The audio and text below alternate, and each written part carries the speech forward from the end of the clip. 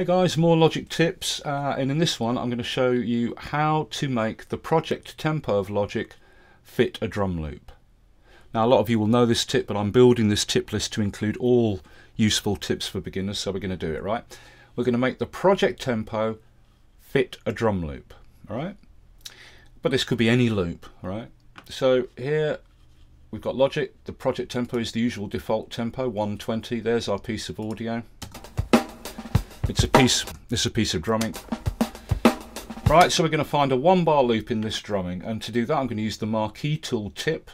It's in the tip list. Marquee tool, click on the audio. I'm going to use the left arrow to back up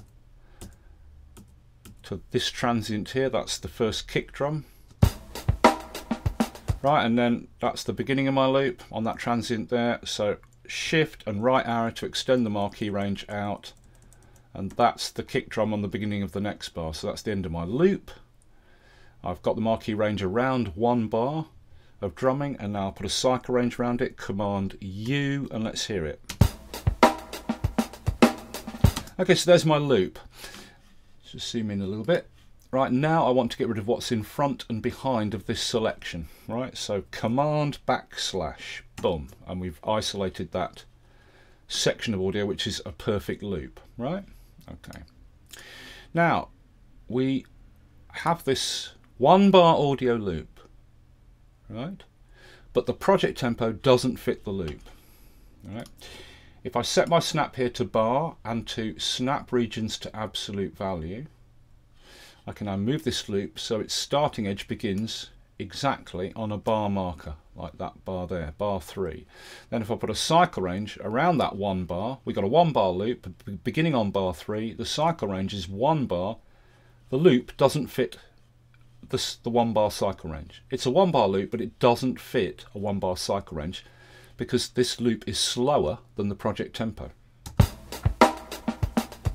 So what we want to do is get the project tempo to be adjusted so this one bar cycle range perfectly fits this one bar loop, right? This is what we do. You need to have your Logic Pro X preferences. Go into preferences. Advanced. You should be in advanced mode, so Logic is in advanced mode, and you need to tick advanced audio. This needs to be ticked, right? Okay. So we double click on our piece of audio, it opens in the editor here, and now we've ticked advanced audio, we have the track edit, which is region edit. We also have file edit. Switch to file edit and there is the selection already pre-highlighted. Right? Now we go to functions adjust tempo by selection which is the loop and locators. And our locators is set to a one bar cycle range right so we're going to adjust the project tempo so the selection a one bar loop fits a one bar locator range Right? do it, boom. Do it globally, boom. And the project tempo adjusts to 98 beats per minute, look. And now this one bar loop perfectly fits a one bar cycle range. The tempo of this loop is 98 beats per minute, and it fits. Okay, now let's just Command Z and undo all that. What if it's a two bar loop? Okay, let's make it a two bar loop then. Right, I've got my cycle range there, uh, my marquee range covering one bar of drumming. So um, choose the marquee tool again and I'm going to extend this end of the marquee range out further. Shift and right arrow. Let's extend it out so we've got two bars of drumming. Right, there's two bars of drumming in the marquee range now. Command U to cycle around it. Let's hear it. Yeah. So we've got a perfect two bar loop now. Okay, again, we'll trim off what's in front and behind that selection. Command backslash, and we have our two bar drum loop isolated, right? But again, the project tempo is 120, this loop will not fit, but it's a two bar loop now. Our snap is set to bar and snap to absolute value. So now I will move this two bar loop so it begins on a bar marker there bar three put a cycle range around come on all right so there's a two bar cycle range and it's a two bar loop. But again, the loop is a different tempo to the project tempo. So our two bar loop does not fit this two bar cycle range. Yeah, it's uh, the wrong tempo.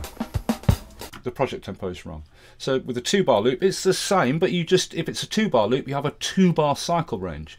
If it's a one bar loop, you have a one bar cycle range. If it's a four bar loop, you have a four bar cycle range, right?